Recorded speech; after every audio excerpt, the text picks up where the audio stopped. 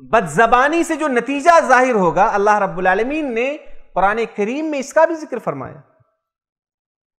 फरमाया, वकुल इबादी यकूलती अहसन इन शैतान बेशक शैतान उनके दरमियान झगड़ा लगा देता है। बात छोटी सी है, किसी ने आकर आपको बताया कि भाई फला ने आपको यह कहा। आप उसके पास गए, हाँ कहा, आप क्या कर लेंगे?